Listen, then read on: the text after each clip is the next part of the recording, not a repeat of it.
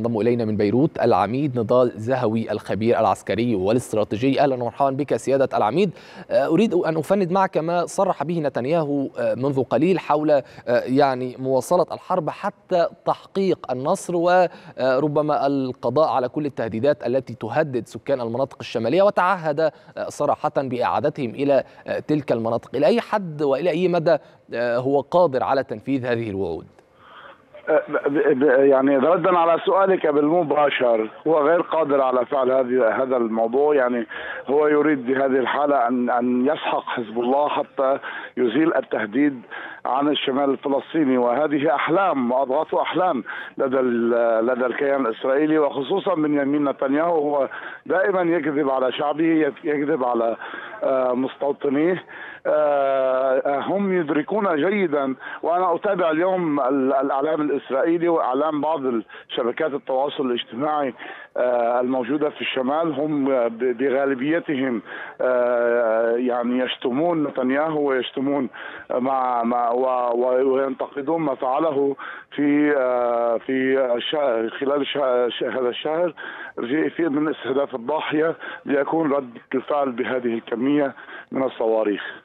سيادة العميد هذه ليست المواجهة الأولى ما بين حزب الله وإسرائيل. لنا في عام 2006 المواجهة أيضا كانت درسا وهي من التاريخ لها نتائج لها دروس مستفادة. لكن الوضع الآن في حال تطور وتصاعد هذه الأزمة إلى مرحلة المواجهة الشاملة. ما الذي اختلف هذه المرة عما وقع في عام 2006 ما المتغيرات الجديدة التي ربما نشهدها تختلف عن نفس نتيجة التطورات في عام 2006 نعم بالنسبة للحرب 2006 هي حرب كانت كان يقود يقوم حزب الله بعمليات دفاعية فقط. وليست عمليات هجومية. اليوم والجيش الإسرائيلي هو الذي كان يهاجم الجنوب اللبناني بينما اليوم الهجوم ومبادرة الهجوم هي بيد حزب الله وليس بيد الجيش الإسرائيلي. هناك ثغرات كبيرة في الجيش الإسرائيلي خلال هذه العشرة أشهر التي سبقت ونيف يعني عشرة أشهر ونيف التي سبقت. قد استنزف الجيش الإسرائيلي القوات البرية الخاصة به قد استنزفت كبيرا. هو اليوم بنسبة جهوزيه متدنية 67%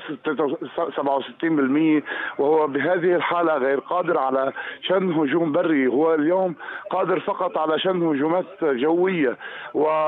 ويعتمد اليوم على نوعيات من الصواريخ الجو أرض الارتجاجية التي حصل عليها مؤخرا من الولايات المتحدة الأمريكية لإخافة و, و... يعني إظهار الرعب لدى الشعب في جنوب لبنان ولكن الجنوبيون اليوم هم معتادون على هذه الضربات ومعتادون على تصرفات الجيش الإسرائيلي بشكل عام. الهجوم اليوم كان هجوما لحزب الله هو كان كتمهيد لعملية الرد.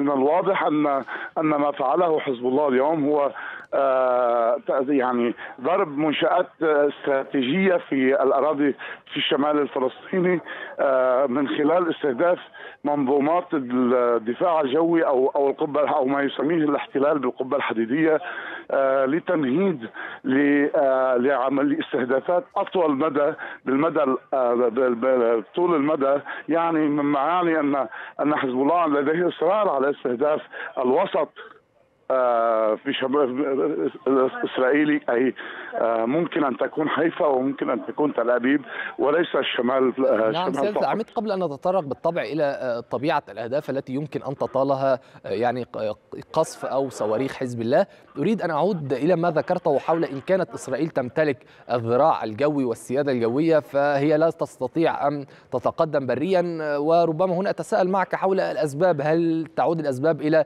جغرافيا الجنوب الصعبة أم إلى إمكانية وجود ألغام أو كمائن محكمة يقع فيها جيش الاحتلال إذا أقدم على الهجوم البري أم إلى الأنفاق يعني المحكمة ويعني التي تمتد لمسافات طويلة التي أنشأها حزب الله.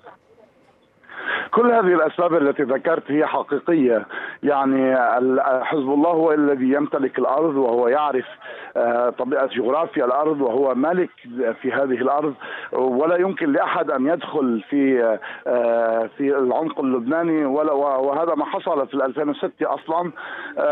أما من ناحية الغام وهذا هذه تقنيات تقنيات لإيجاد مقاتل وافخاخ للعدو عند حين تقدمه ولكن السبب الرئيسي اليوم والجوهري الذي يحدد نشاط العمليات في في الجنوب العمليات البرية في الجنوب اللبناني هي هي هي يعني ضعف القوات البرية لدى الجيش الإسرائيلي. كنت قد ذكرت وأشرت لك أن نسبة جهوزية هذه القوات هي ضعيفة جدا وغير قادرة على التحمل مشقات أخرى وغير قادرة على التحمل خسائر بشرية ضخمة. وخصوصا أن ما يعده حزب الله للقوات البرية هي يعرف الإسرائيلي ذلك جيدا. هي هي مقاتل ضخمة ويمكن أن يستنزف الجيش الإسرائيلي لحد التفكك.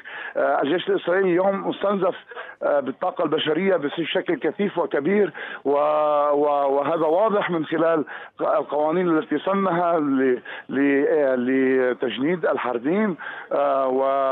وكذلك هناك نقص حاد في بعض الألوية العسكرية خصوصا قوات النخبة منها لواء جولاني الذي هو أصلا متخصص في القتال في الشمال وبعض الألوية التي شاركت من الشمال في قطاع غزة وبعض الألوية التي أنهكت أصلا في الشمال. هذه المنظومات يعني وإذا أردت أن أسمي لك هذه المنظومات أسميها بالوحدات الفرعية والوحدات الرئيسية. هناك فيلق الشمال. فيلق الشمال الذي يحتوي على أربع فرق ال 36 هي في الجولان المحتل وال 210 هي الفرقة الاحتياطية لفرقة الجولان وكذلك هناك الفرقة 91 في الجليل والفرقة 340 في في الجليل هي الاحتياطية للجليل الأعلى للجليل بشكل عام. هذه الأربع فرق اليوم هي بنسبه جهوزيه متدنية غير قادرة على تحقيق أي تقدم واصلا عندما عندما قرر الإسرائيلي في 2006 الهجوم على لبنان هو دخل أصلا بثمان فرق. اليوم كامل الجيش الإسرائيلي أعداده ثمانية فرق فقط. إلى جانب ذلك سيادة العميد نعم تفضل أكمل ما كنت تتحدث فيه. لذلك أقول أنه لا يمكن للإسرائيل اليوم تفريغ كافة الأراضي الفلسطينية المحتلة من من عسكرها للقيام بعملية و و وكانت نتائجها في 2006 بنفس القوات كانت نتائجها كارثية بالنسبة للجيش الإسرائيلي.